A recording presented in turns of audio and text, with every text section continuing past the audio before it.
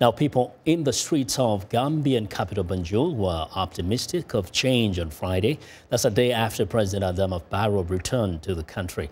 Uh, Barrow was welcomed by thousands of people lining the streets as he returned from Senegal after authoritarian leader Yahya Jammeh fled into exile under pressure from regional forces. Barrow won the election in December, uh, but Jammeh had refused to step down, forcing his opponent uh, to be inaugurated at the Gambian embassy in neighboring Senegal.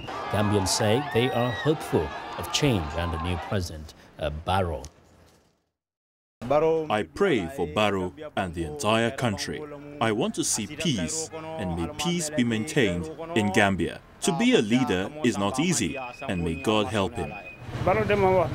Truly, we have a lot of hope in Barrow because all Yahya Jammeh did was kill people. He wasted the country's money and tarnished our religion. He destroyed everything. We know Barrow well and he will be able to lead the country well. Everybody is happy.